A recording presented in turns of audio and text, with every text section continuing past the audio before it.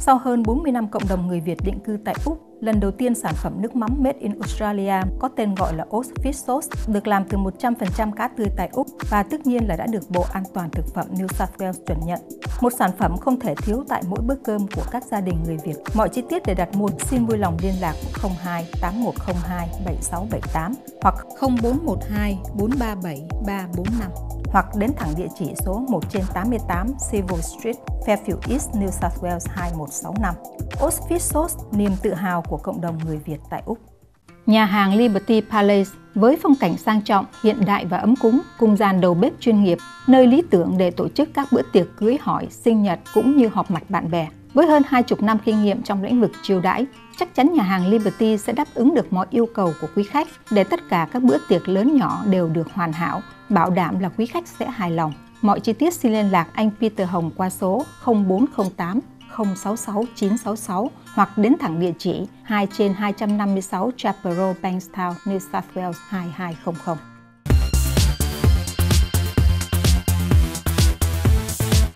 Lily và Kim Hoàng rất hân hạnh được trở lại với tất cả quý khán giả đang theo dõi phần điểm báo thế giới của chúng tôi trong buổi tối ngày hôm nay thứ Tư 27 tây tháng 4 năm 2022.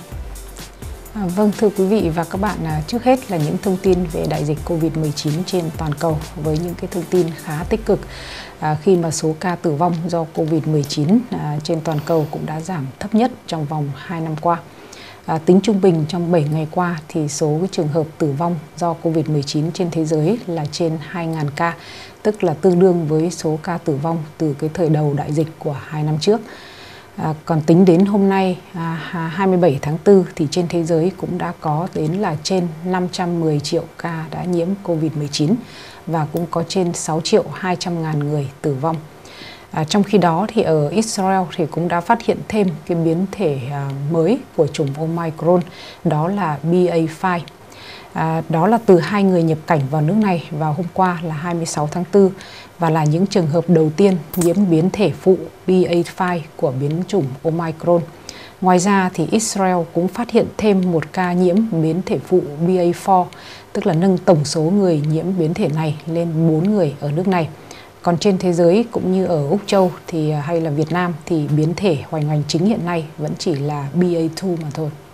Vâng, kính thưa quý vị, đúng như là lời các chuyên gia đã dự phóng là Omicron nguyên thủy sẽ có thể nói là sẽ sản sinh ra rất là nhiều những cái loại biến thể mà hiện nay chúng ta thấy rõ. Omicron nguyên thủy được gọi là BA.1 trong khi BA.2 là một trong những cái biến thể chính tại Úc hiện nay. BA3, BA4 và hiện nay còn đã xuất hiện tới cái giai đoạn 5 nó có gọi là BA.5 tại Israel. Chưa ai biết là những cái mức độ nghiêm trọng của cái loại biến thể này như thế nào nhưng nếu so sánh với BA.2 tại nước Úc thì chúng ta cũng biết khá rõ là không gây nên tình trạng bệnh tật nghiêm trọng mặc dù cái tỷ lệ lây lan là rất cao. Trong khi đó thì tại Trung Quốc, kính thưa quý vị, Bắc Kinh hiện nay đang đi vào vết xe của Thượng Hải sau khi Bắc Kinh đã ghi nhận 22 ca nhiễm của ngày hôm qua 26 tháng 4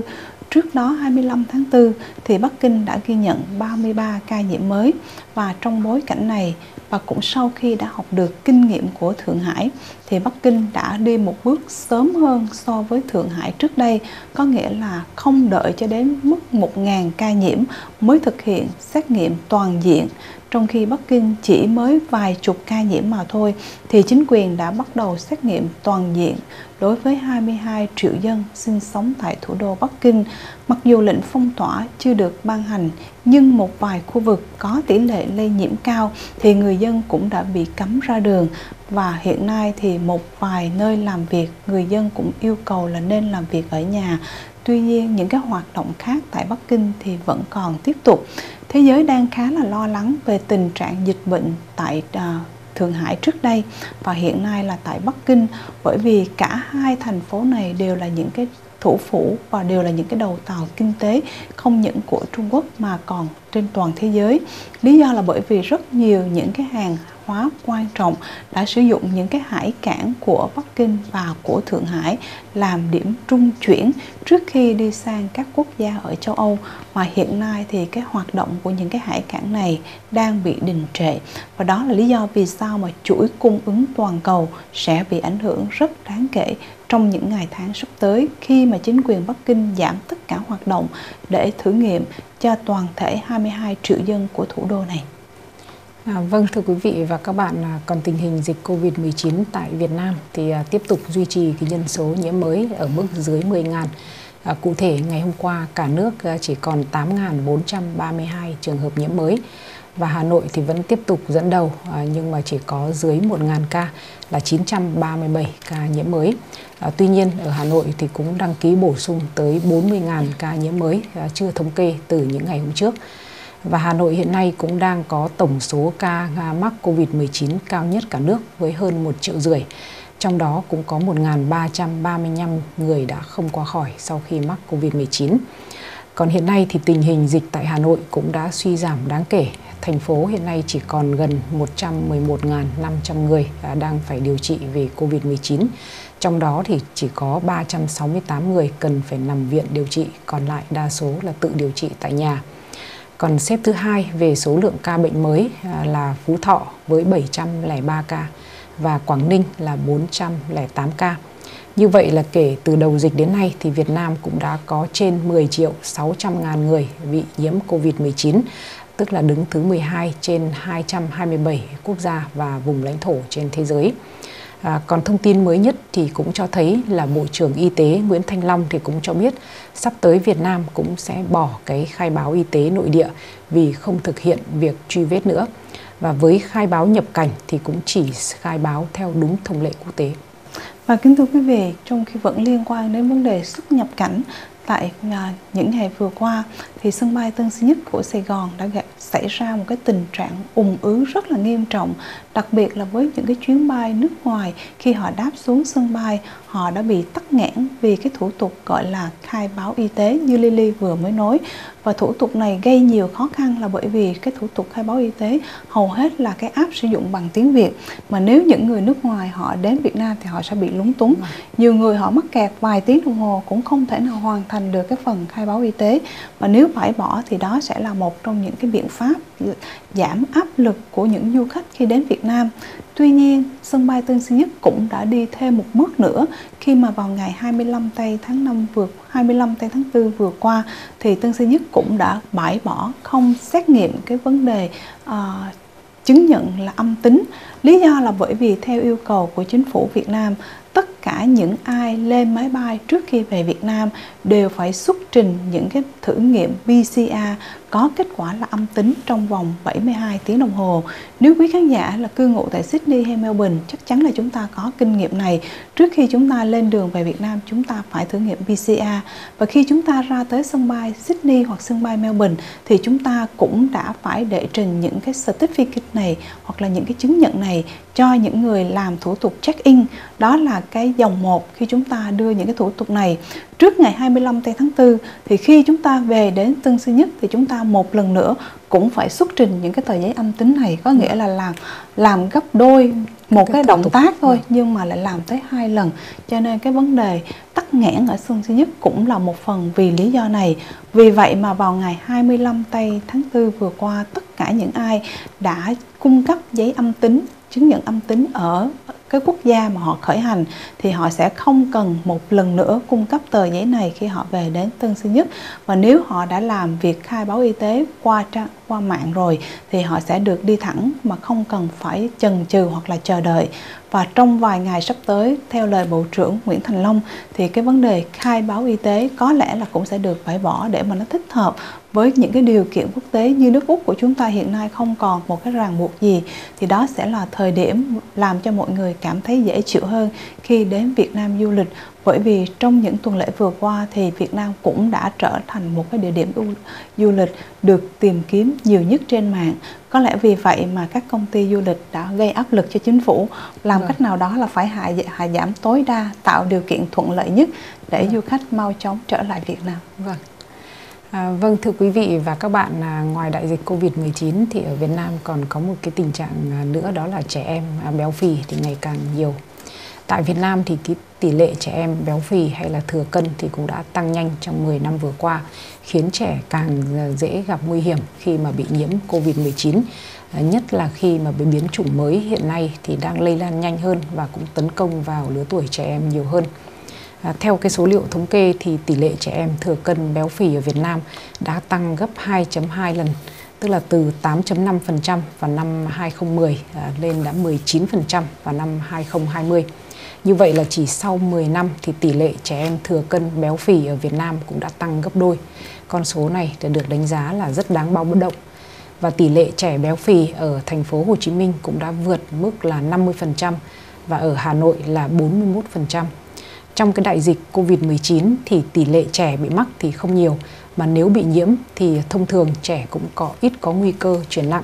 Đa số thì mắc bệnh nhẹ và không có triệu chứng. Tuy nhiên những trẻ mà có cái yếu tố có nguy cơ cao như là béo phì, thừa cân hay là có các cái bệnh lý nền thì dễ bị suy hô hấp hay là nguy kịch, thậm chí rơi vào tử vong.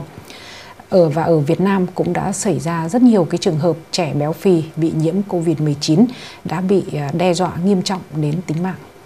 Vâng, kính thưa quý vị, Bệnh viện Nhi Đồng 1 tại Sài Gòn đã đơn cử một cái trường hợp là vào ngày 12 tây tháng 8 năm 2021, họ đã tiếp nhận một bé gái 14 tuổi nhưng mà có cân nặng đến 90 kg. Khi mà em bé bị nhiễm dương tính với Covid-19 đưa vào bệnh viện thì cái tình trạng hô hấp rất là khó khăn. Và đây cũng là trường hợp trẻ em đầu tiên mà bệnh viện phải đặt nội khí quản để mà cho em thở máy May mắn là cái tình trạng nguy kịch cũng đã qua, nhưng nguyên nhân chính do các bác sĩ đưa ra là bởi vì cái tình trạng béo phì đã làm cho cái tuyến đường hô hấp hoặc là hệ thống hô hấp nó không có hoạt động dễ dàng như là những trẻ em có cái số cân nặng trung bình. Và nếu mà chúng ta nói về tình trạng béo phì thì không những là xảy ra ở trẻ em Việt Nam mà xảy ra đối với trẻ em trên toàn thế giới và thậm chí người lớn cũng ở trong tình trạng béo phì nhưng riêng tại Việt Nam thì cái tỷ lệ béo phì đối với trẻ em tập trung nhiều nhất là tại hai thành phố lớn là Sài Gòn và Hà Nội. Vâng. Ở Sài Gòn thì có 50% trẻ em đã rơi vào tình trạng béo phì. Vâng. Hà Nội con số tương đương là 40%, trong khi ở những cái vùng núi hoặc là những cái vùng nông thôn thì cái tỷ lệ nó chỉ có trên dưới 10% mà thôi. Điều này cho thấy là cái cuộc sống hiện nay thì nhiều khi cha mẹ cứ không nghĩ rằng là con của mình là à, có cân nặng đủ rồi, cứ vâng. là vấn đề ở Việt Nam cái truyền thống là cứ ép ăn vâng. và cứ nghĩ là đứa trẻ thì càng bụ bẩm thì càng à, càng, càng dễ thương. Và đó là lý do vì sao mà càng lớn lên thì cái cân nặng càng không thể thay đổi. Và đó là một cái nguy cơ rất lớn dẫn đến nhiều tình trạng uh, sức khỏe không tốt khác trong tương lai. Thế giới cũng đã ghi nhận mà cái thống kê này là do tổ chức y tế thế giới WHO cung cấp là vào năm 2016 thì trên toàn thế giới có 1 tỷ 900 triệu người trên 10 18 tuổi là đã rơi vào tình trạng béo phì. Nhưng mà cái tỷ lệ này đã cao gấp 3 lần nếu mà chúng ta so sánh với thời điểm từ năm 1975 cho đến năm 2016 và 3 năm sau đó là năm 2019 thì cũng là dữ liệu của WHO cho thấy là có đến 38 triệu trẻ em dưới 5 tuổi bị béo phì và đây là những cái tình trạng mà phải nói rất đáng lo ngại và hy vọng là chúng ta có được những cái khái niệm về vấn đề chăm sóc sức khỏe hoặc là cân nặng của các em như thế nào gọi là đủ để các em không bị vướng vào những cái bệnh nền do béo phì gây ra. À, vâng thưa quý vị và các bạn à, còn liên quan đến à, cuộc chiến giữa Nga và Ukraine à, thì à, Tổng thư ký Liên Hợp Quốc à, là ông Antonio Guterres thì cũng đã có chuyến thăm tới Moscow của Nga vào ngày 26 tháng 4 và trong cuộc à, thăm này thì ông cũng đã gặp Ngoại trưởng Nga Sergei Lavrov và ông à, Ngoại trưởng Nga cũng đã khẳng định là cái mục tiêu của Nga ở Ukraine chỉ là bảo vệ thường dân nên mà Nga sẵn sàng sẽ hợp tác với Liên Hợp Quốc để à, giảm thiểu các cái ảnh hưởng đến với người dân.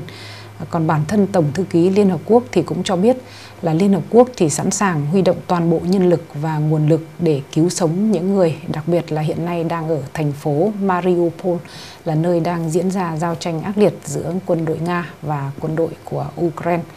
À, đồng thời, Tổng thư ký Liên Hợp Quốc cũng đề nghị là phía Nga phải phối hợp với Hội chữ thập đỏ quốc tế để cho những người đang bị kẹt bên trong một cái nhà máy thép ở thành phố này được rời đi. À, tuy nhiên, phía Nga lại khẳng định là những người à, còn kẹt bên trong nhà máy thép này là các tay súng của Ukraine đang cố thủ và cáo buộc chính phủ Ukraine là đã ra lệnh cho những người này không được ra hàng.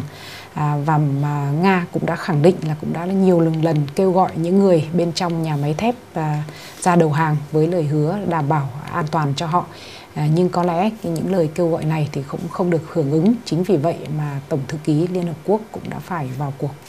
Vâng, kính thưa quý vị, theo lời đề nghị của ông Anthony Guterres thì hiện nay trong cái cuộc ờ, những cái vấn đề, những cái lý do rất là cấp bách, ông đã đề nghị thành lập một cái nhóm liên lạc bao gồm thứ nhất là đại diện của Liên Hiệp Quốc, thứ nhì là đại diện của Liên bang Nga và thứ ba là đại diện của Ukraine để mà có thể thảo luận, đặc biệt là những cái tìm một cái một cái biện pháp hoặc là bước đến những cái cuộc đàm phán để cuộc chiến có thể ngưng bên những cái bàn đàm phán giữa ba bên như thế này. Phía Nga thì cho rằng và cũng xác quyết theo lời của Ngoại trưởng Lavrov là họ luôn luôn hợp tác với Liên Hiệp Quốc để giải quyết vấn đề chấm dứt cuộc chiến trong hòa bình nhưng mà thật ra thì cái nội dung này họ cũng đã tuyên bố rất là nhiều lần với ờ, trong lúc họ đàm phán với bên Ukraine hoặc là trên các phương tiện truyền thông nhưng mà chưa bao giờ họ thực hiện. Và lần này thì không biết là hành lang nhân đạo có được thực hiện sau khi mà tổng thư ký Liên Hiệp Quốc đã ra mặt hay không. Sau khi gặp ngoại trưởng Lavrov rồi thì ông Guterres cũng sẽ đích thân gặp tổng thống Nga Putin để một lần nữa đàm phán về cái sự căng thẳng hiện nay, với hy vọng duy nhất là giảm nhiệt sự căng thẳng và có thể đưa hai bên ngồi xuống đạt được một cái thỏa thuận nào đó để có thể chấm chấm dứt cuộc chiến lần này. Vâng, à, chuyến thăm Nga của Tổng thư ký Liên Hợp Quốc thì đã bị phía Ukraine à, chỉ trích bởi vì Ukraine cho rằng là đáng nhẽ ông à, utere thì cũng nên đến một đất nước đang có xung đột để hiểu rõ tình hình hơn. À, tuy nhiên mà theo lịch trình thì sau chuyến thăm Nga à, thì à, Tổng thư ký Liên Hợp Quốc cũng sẽ tới Kiev vào ngày 28 tháng 4. À, còn trước đó thì ông cũng đã ghé thăm Thổ Nhĩ Kỳ, tức là một quốc gia cũng đã đóng vai trò làm trung gian đàm phán giữa Nga và Ukraine. Còn thưa quý vị và các bạn, à, xung đột giữa Nga và Ukraine cũng đã vốn làm trao đảo cái thị trường dầu hướng dương trên toàn cầu. Do đây là hai nước cũng là nước sản xuất và xuất khẩu chính. Và điều này cũng đã khiến các nước sản xuất khác à, cũng phải siết chặt nguồn cung các cái loại dầu thực vật khác như là dầu cọ vốn cũng thường được sử dụng trong thực phẩm, nhiên liệu sinh học và các cái sản phẩm chăm sóc cá nhân. Và theo hãng tin Bloomberg thì cái giá dầu cọ đã tăng rất là nhanh sau khi mà Indonesia, nước sản xuất dầu cọ hàng đầu thế giới đưa ra cái lệnh cấm là cấm xuất khẩu dầu ăn từ ngày mùng 28 tháng 4 và sẽ kéo dài cho tới khi tình trạng thiếu hụt trong nước được giải quyết. À, Indonesia thì hiện nay chiếm 60% nguồn cung dầu cọ trên toàn cầu. Và động thái của nước này cũng có thể khiến chính phủ các nước khác à, trên thế giới ra những cái lệnh tương tự.